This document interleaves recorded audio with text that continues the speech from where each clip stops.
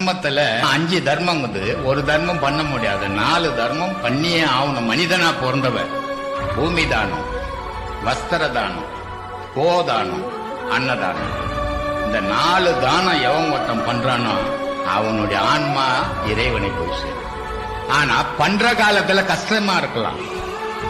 அவன் பண்ணும்போது முடியாத சூழ்நிலைகள் இருக்கலாம். ஆனால் அவனுடைய ஆன்மா இறைவனை நோக்கியே பயணம்.